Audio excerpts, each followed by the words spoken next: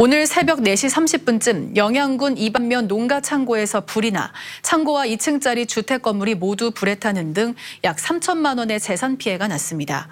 2시간 50여 분 만에 불을 끈 소방당국은 자재를 보관하던 컨테이너에서 불이 시작된 걸로 보고 정확한 화재 원인을 조사하고 있습니다.